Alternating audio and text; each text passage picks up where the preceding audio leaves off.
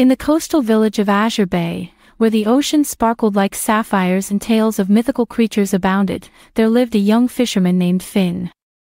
With a heart full of curiosity and a longing for adventure, Finn dreamed of encountering the legendary shimmering sea serpent, a majestic creature said to dwell in the depths of the ocean and possess scales that shimmered like precious gems. One fateful day, while casting his net into the azure waters, Finn spotted a glimmering trail of light dancing across the waves, a sign, he believed, of the sea serpent's presence.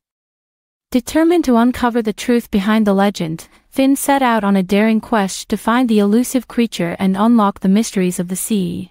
Armed with nothing but his fishing boat and his unwavering courage, Finn embarked on his journey, guided by the shimmering trail and the whispers of the ocean breeze.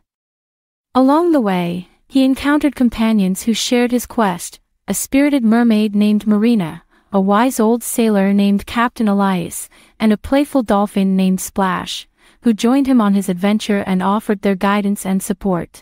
As they journeyed across the vast expanse of the ocean, Finn and his companions faced challenges and dangers that tested their courage and resolve.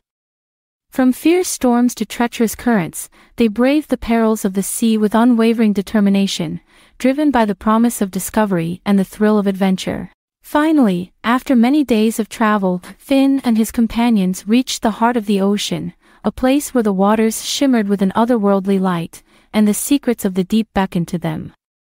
There, amidst the swirling currents and hidden caves, they encountered the shimmering sea serpent, a sight more magnificent than any legend could describe. As Finn gazed into the serpent's eyes, he felt a deep connection, a bond forged not of fear or awe, but of mutual respect and understanding. And in that moment, he realized that the true treasure of his quest was not the serpent's shimmering scales, but the knowledge that he had gained and the friendships he had formed along the way.